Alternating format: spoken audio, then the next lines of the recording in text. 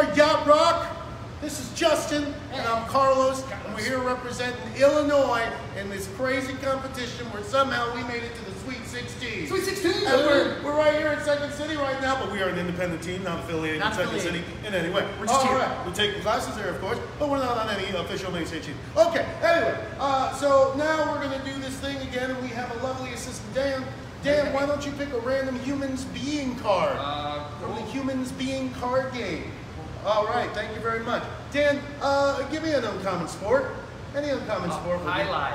Jai alai. Highlight. Two coaches are giving a pep talk to the team before a big jai alai game. All right, now Dan, also please now pick a challenge card. All right, and uh, and uh, yeah, let's show it to the camera real quick. All right. Two coaches are giving a pep talk to the team before a big jai alai game. Okay, you ready? Ready. All right, Good. and here we go. All right, guys. Okay, listen up.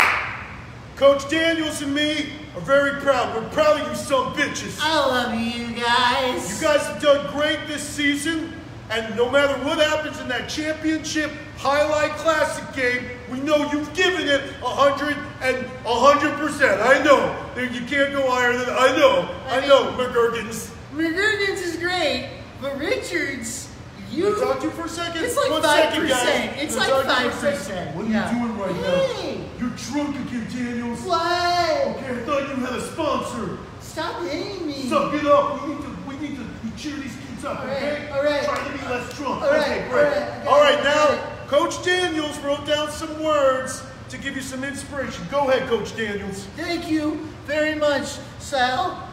Coach Sal. Look,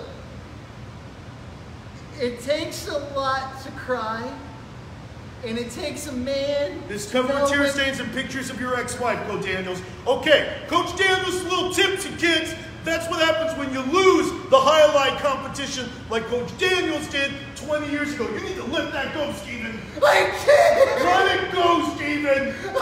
We still love you, okay, kids? No matter if you lose, we'll love you.